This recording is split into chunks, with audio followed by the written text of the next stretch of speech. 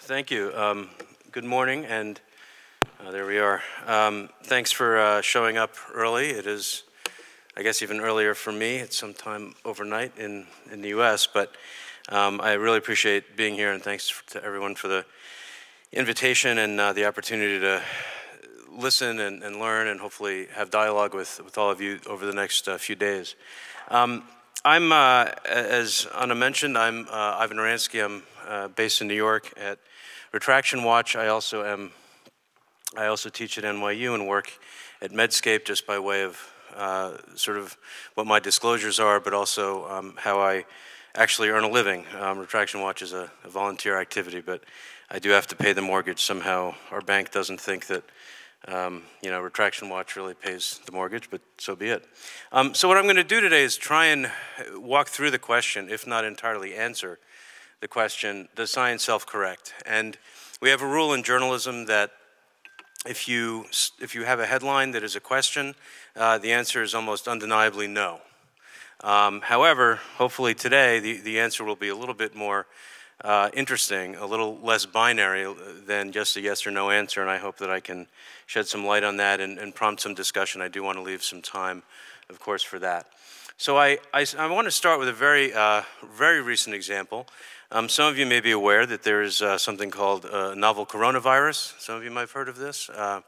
I, I, imagine all of us have heard of it. Maybe, maybe we've all heard of it, in fact, too much.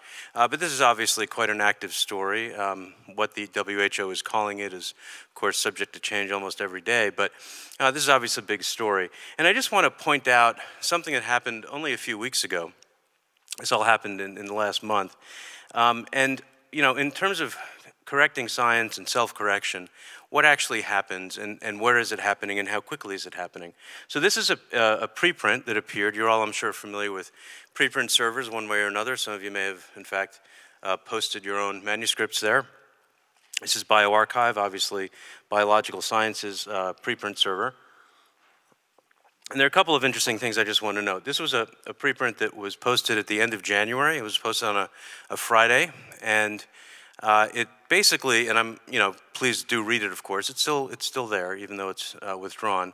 Uh, but, you know, sort of generally speaking, sort of superficially speaking, if you will, uh, it said that uh, it had used the word uncanny, and those of you who, you know, sort of think about the word uncanny in a in the title of a paper, a scientific paper, that's you know quite sort of what we would say is loaded language. It's sort of very suggestive, uh, uncanny, and this paper basically says that wow, you know, they found some sequence homology, protein, uh, protein homology, protein sequence homology between the new novel coronavirus and HIV. And they said, and they went much, much further than that.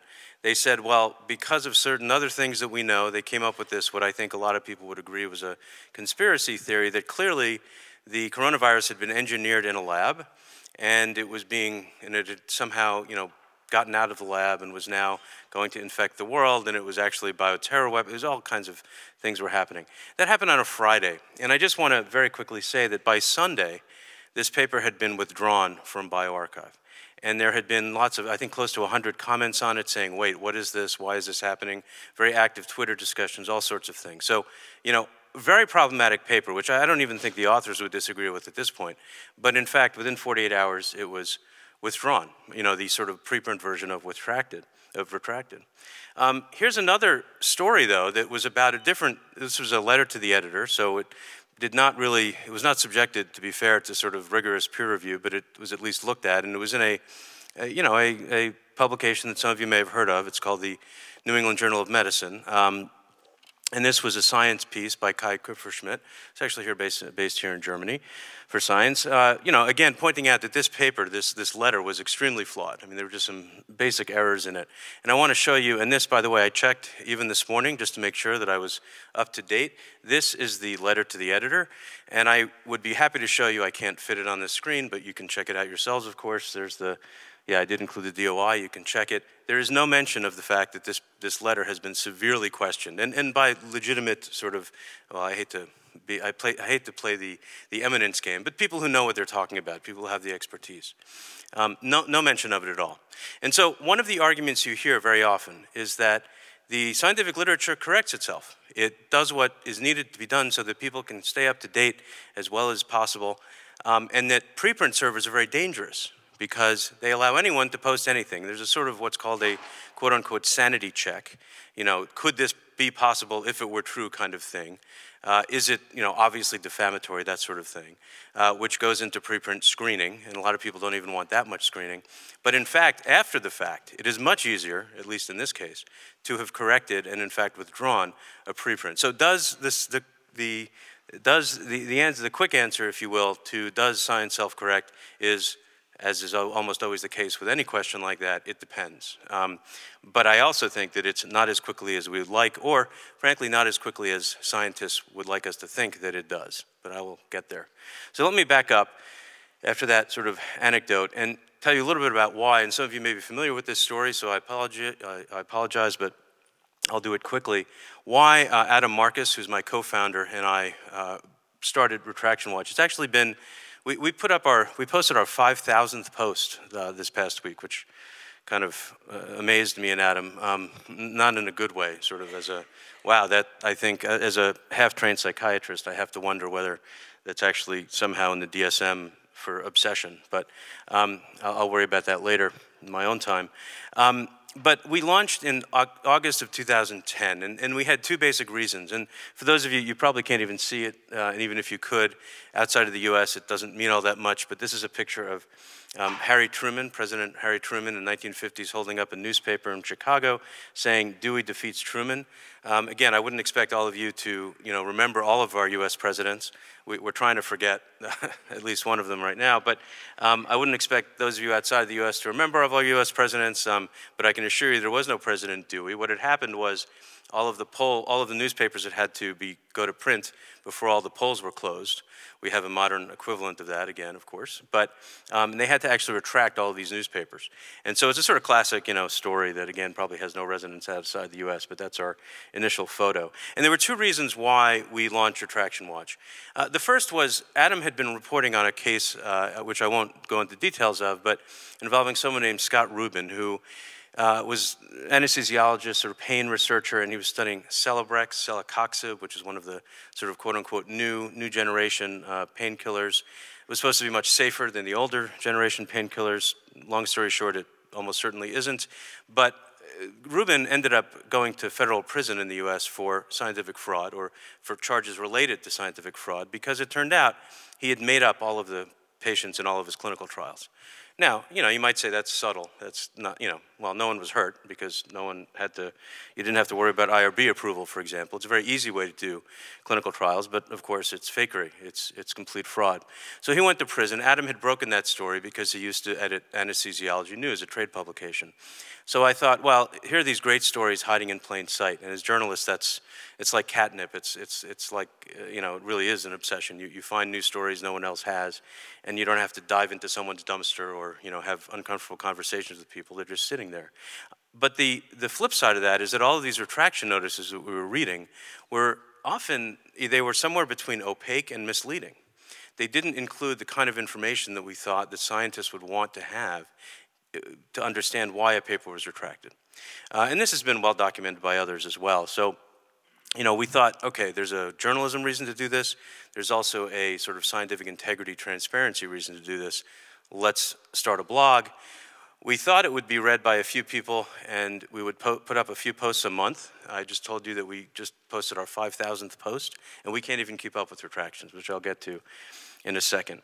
Um, so we post uh, every day. For a while, we were posting more than once a day uh, about various retractions and other related stories. Um, but several years ago, actually, I guess going on six years ago now, um, we realized that there was no good source of all retractions. No, there was no good database of all retractions. So with some very generous funding, uh, for which we're very grateful, we created a database which you can go to and, and search yourselves, retractiondatabase.org. We now, as of uh, this week, have 21,000 retractions. in retractiondatabase.org. Uh, that's almost twice as many as you'll find in any other sort of similar database like Web of Science or I mean, PubMed has only about a third of those. Uh, and those are both selective for different reasons. We have ones you wouldn't expect them to have. But, and as you can tell, uh, we're, we're, very committed to the data and the, the, the, the, sort of comprehensiveness and cleanliness and taxonomy of the data. Uh, we are journalists, though. We're not computer programmers or UX designers. So if that looks like it's from 1998, well, it looks like it's from 1998. We'd be happy to work with anyone who wanted to help us with it. We also are more than happy to, uh, subject to a pretty minimal data use agreement, uh, provide these data to anyone who wants to research subject. Just two papers just this week came out using our database, and we're always very excited about that and seeing what others can find uh, based on the 21,000 and growing retraction. So let me give you a little bit of a sense of what we found uh, in that. And, and, again, getting to this question of the sign self-correct. 21,000 retractions, by the way, sounds like a lot. It's a big number. It's certainly a lot of work to do that database. On the other hand, over that time, and these go back, we have one from actually 1756, um, which is, you know, in the U.S., that's you know, ancient history. I know here it's a little bit, a little bit younger than that, but it's still quite a ways back. Um, and most of them, of course, have happened since 2000. Uh, but it's a lot of work. But in that time, imagine how many tens of millions of papers have been published. And I want to always put that in perspective. And to that end, so we officially launched the database about a year and a half ago in Science Magazine uh, with a big uh, feature, six pages. This was not the peer-reviewed side. I just want to be clear. This was the journalism side, although we like to think that it was quite rigorous. Uh, we worked very closely with them, and they really did the analysis. We worked with them to, you know, just offer suggestions and, and feedback. Um, but this is the rate of retractions uh, over time. And so if you look, it's roughly, you know, at this point, and I would ignore, by the way, everything after 2016. These, this is the year the paper was published, not the year the paper was retracted. And there is a lag of about three years, which kind of gets also to my question of does science self-correct? Um, so I would ignore that. It's kind of looking, looking at, you know, future stock price. It, I don't think there's much validity to it. They wanted to put that in there and, and what have you. Um, but basically, if you exclude a large group of retractions that are for conference abstracts, uh, which science decided to do, I think other analyses don't do that, but that's obviously just a choice you make for various reasons. Um, you know, the rate of retraction is more or less plateaued at about 4 per 10,000 papers published. Again, that's quite rare. I mean, it's 0.04%. Uh, it's not 1%, it's not 2%, it's not even 0.1%. Uh, it's quite a rare event. I'm going to get to what the number maybe should be without a specific answer to that question. Um, but, you know, the question we always get is why, has, why has, have retractions increased? Uh, and I think it's very clear that a large part, if not the, the majority of uh, the reason retractions have increased is because everyone's actually looking. And I'm going to get to some of the people who are doing that looking. Uh, there's us sort of cataloging, but we we're not actually examining for problems, even though sometimes people think that's what we do, and that's fine. Um, but lots more people looking. But I also would, would posit to you that there is some evidence that misconduct itself is on the rise, or at least the, the kinds of misconduct are growing, and none of them is shrinking. And so therefore, again, I'm going to suggest this is a, an answer to my question, uh, or at least a sort of important context for the answer for answering my question. Leave it to you to decide and, and maybe even study it yourselves. So let me sort of run, I'm not going to sort of go through each one of these, but I'll just flash them on the screen and, and, show you sort of these are common reasons for retraction. Um, some are, I mean, the, when I say common, some are far more common uh, than others. Um, there, there's duplication, in other words, uh, you know, doing the same thing, more trying to publish the same thing more than once. There's plagiarism. I hope you know, you all are familiar with that concept um, and don't do it. Uh, image manipulation, a big reason for what we see now because it's easy to spot, or it's easier to spot and I'm going to get to some of the people who are doing that. There's fake data. I mentioned, um, I mentioned Scott Reuben, he faked data. Um, fake peer reviews, some of you may be familiar with this phenomenon where, uh, and it's responsible for about 750 retractions by now in our database. Uh, this is when you are able to, in a couple of different ways, but usually involving some sort of fake email address, uh, you're actually able to peer review your own paper.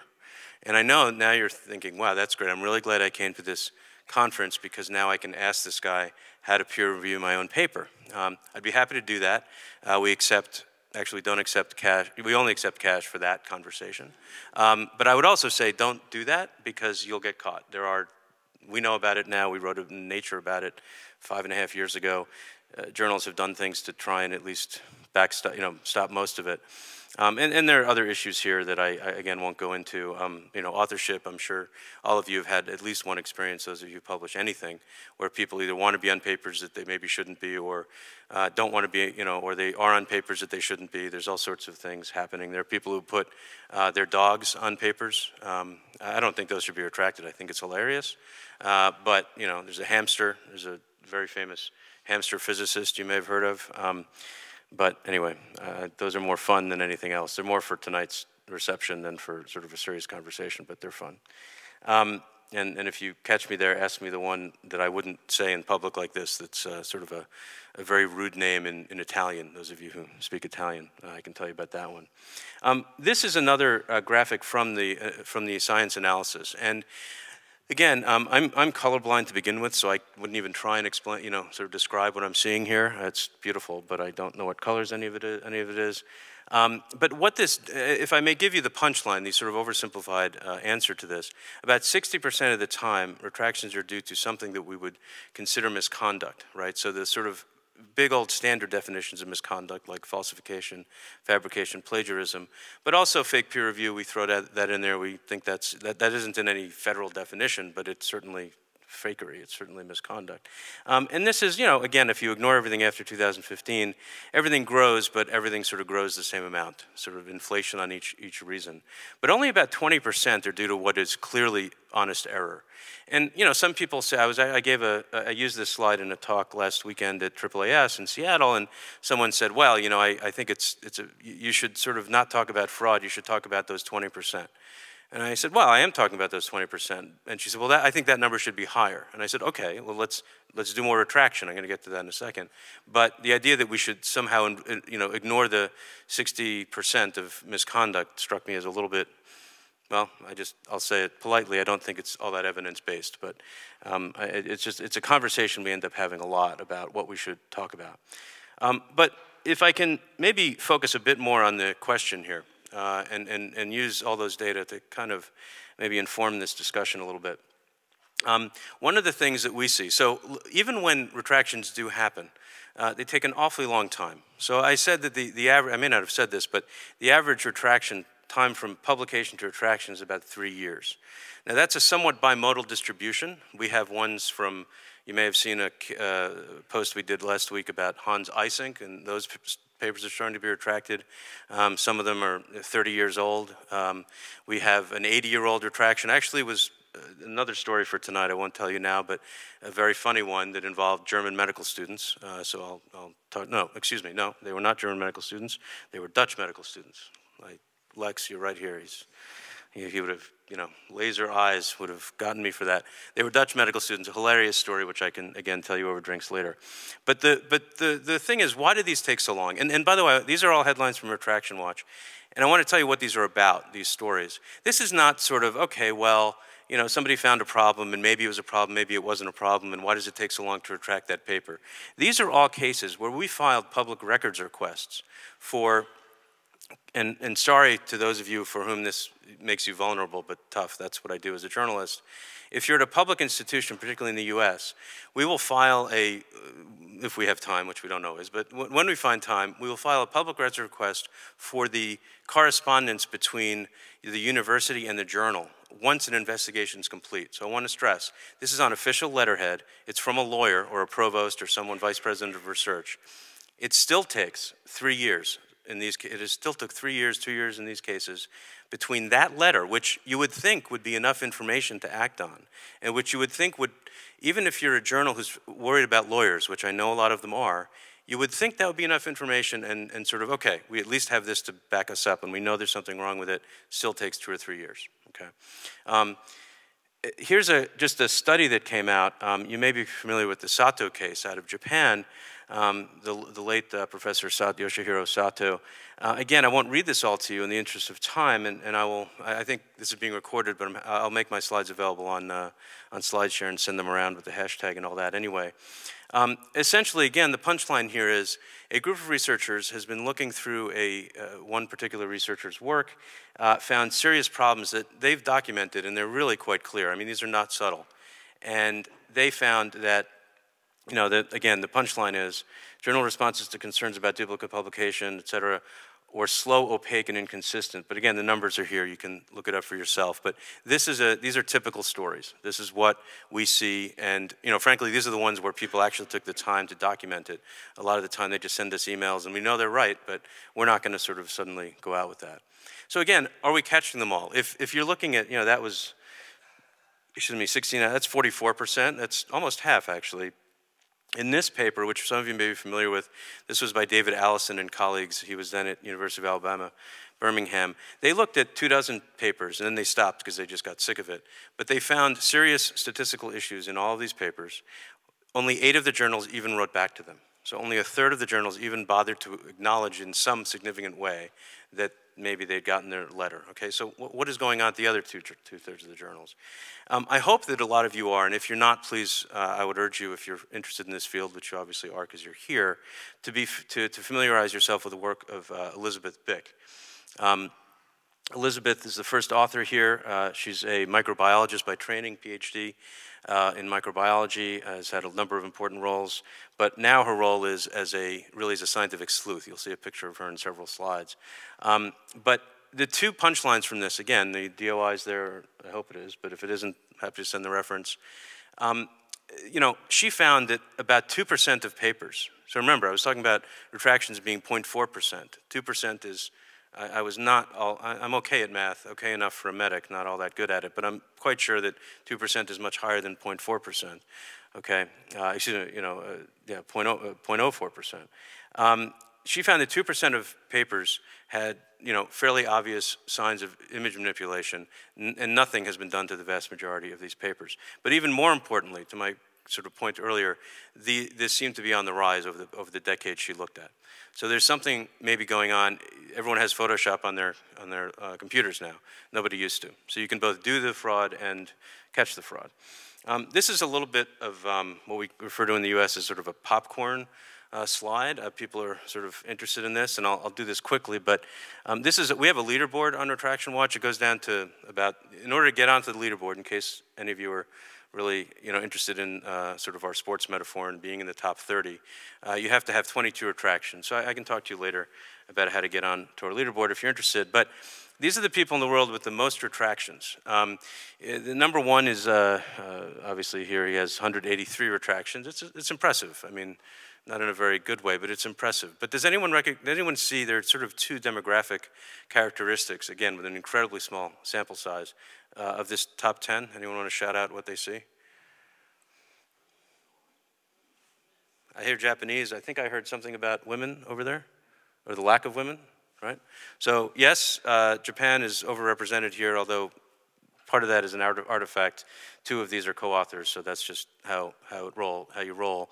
Um, there are also no women on the list. There actually, you go all the way to the bottom of the list, there's only one woman on the list, and not, uh, she's sort of toward the bottom of it. So just, again, in the interest of uh, equality and um, egalitarianism, I'd be happy to work with any of you who, no. Uh, you know, why, why this is true, we have no idea. And again, it's a small sample size. These are extremes. I want to be careful about that. But there is something going on. And by the way, even if you account for, and someone did this analysis, if you account for the overrepresentation of men uh, in positions where they're writing papers and in authorship and all the rest of it, it's still like nine to one. So it's, I don't know what's happening, but we can speculate. Maybe over drinks again. Um, one, again, why does this matter? You know, does the scientific record self-correct? And even when it does, do future authors, if you will, who are looking at those papers, do they care or do they pay attention?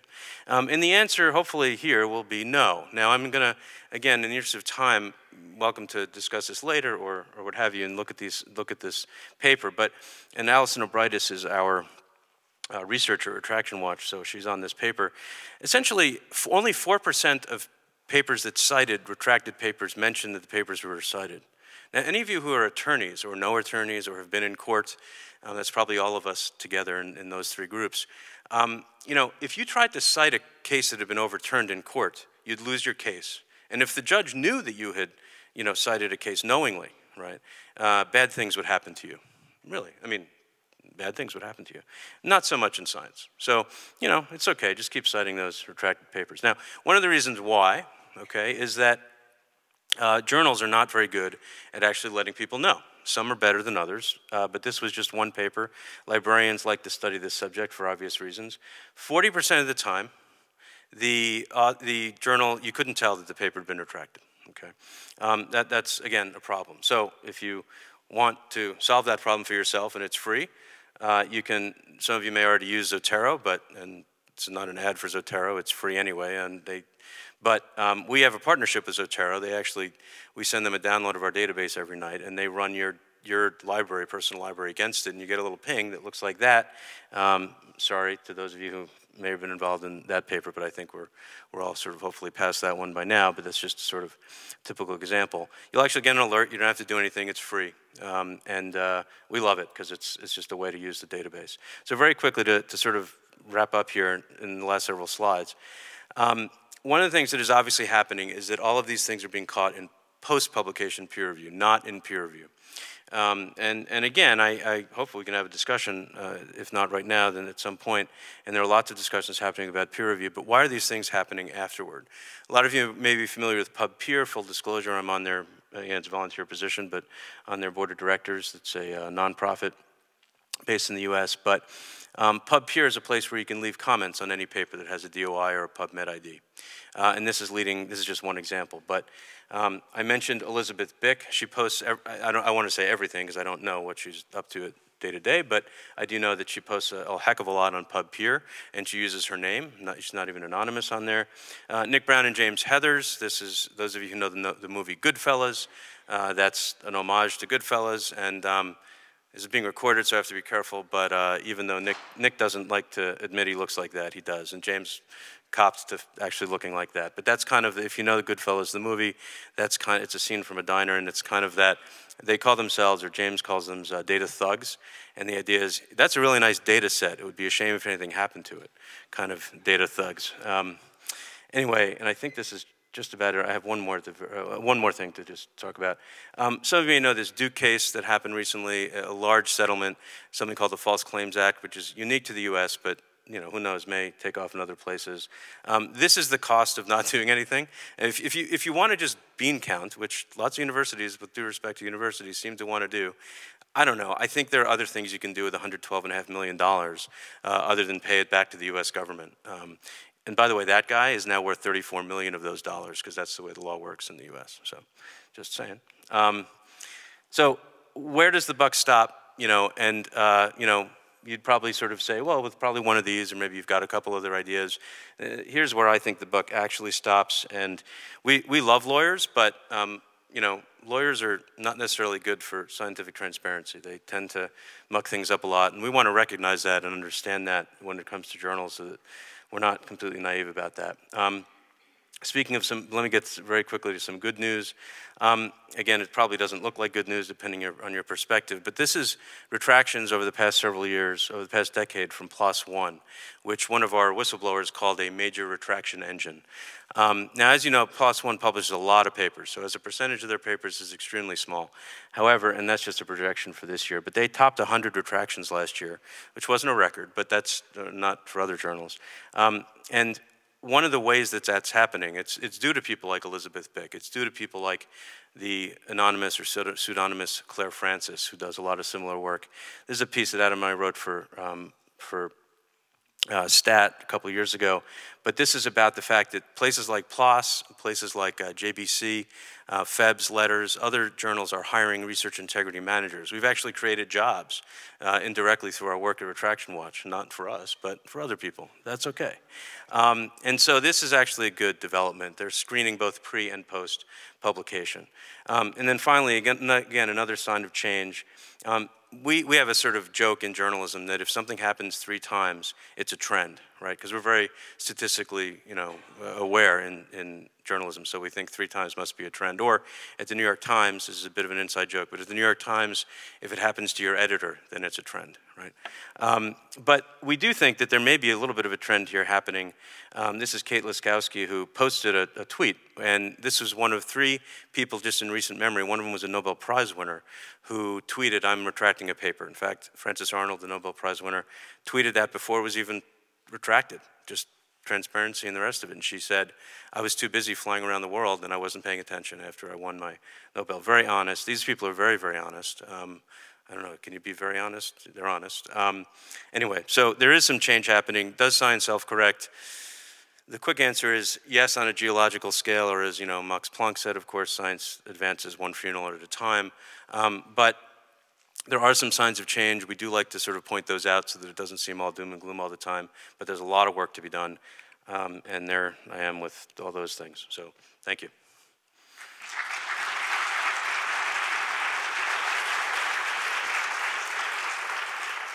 Okay, thank you very much. I'd say I'll allow one question because we're pressed for time.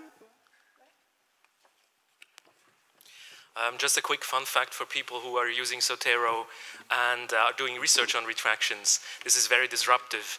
Uh, my database is full of retractions because I like to study them, and Zotero keeps interrupting me. But that's just. I, I would say sorry, but not no, really. That's okay. That's okay. It's just uh, just an outlier. Um, I'm wondering about your journalistic process because one of the things that to me seems to be happening uh, uh, on and off again on, on, on your blog is you're very successful in that you get a lot of recognition for this. You seem to have a lot of hits. People are looking at what you're, what you're posting. Um, and I'm not sure what you do if the people you are incriminating, because this is something you do sometimes, right? You raise issues for people where we don't really know uh, at the end of the day whether there was something problematic or not. Give you an example. You had a philosopher on your, on your blog uh, last year um, who's very famous, who was posting under a pseudonym for the whole of her career. The whole community knew about it. It had a, an important reason for it. Um, it is an established praxis in humanistic uh, writing that you use pseudonyms, and you implied that she was, was, was plagiarizing or something similar. So the question I was asking myself, if she wanted to have that post retracted on your website, what would she have to do? Um, not the least because you're still doing mock shots on your website, which is something I would associate with sort of a tabloid type of journalism. So what is, what is the process for people who feel wrongfully accused and who want their, their post on your website uh, to be retracted? So I would, uh, we don't have a lot of time, so I'm just going to answer and then we can maybe have a conversation later. Um, I would challenge the premise that we are implicating people where we're not just reporting facts as they are. We always, and I stress always, give people the opportunity to respond. Most people choose not to. That is their choice. The idea, however, that we should withhold from publishing facts because someone doesn't like them, um, we have a government in the U.S. that has that same approach, and I would hope that academia is a little bit in a little bit better place than that. The idea, again, we, we give people time to respond and ask them, you know, what, it, what happened here, tell us your side of the story. We often learn lots of things that the journal didn't know, or the journal may have known but didn't, you know, put out in the public. Um, that's what we do. And so if someone wanted to retract a post, we've retracted one post in 10 years. I won't get into details, but happy to uh, just to give you a sense. We always are responding to people. People are bringing us questions, threatening to sue us. Sometimes that hasn't happened. But um, so I, th there's just an open dialogue, there's an open process. And you know, the fact that a fact is sort of inconvenient, uh, to, to sort of paraphrase Al Gore, is, is just not a reason we're not going to publish it. Um, you know, mugshots, I, I, these are, we're almost always taking those from university websites. If you have an issue with the picture that you yourself or the university is putting on your university website, send us a different one, but that's, that's not a mugshot in that sense. Okay, then thank you again.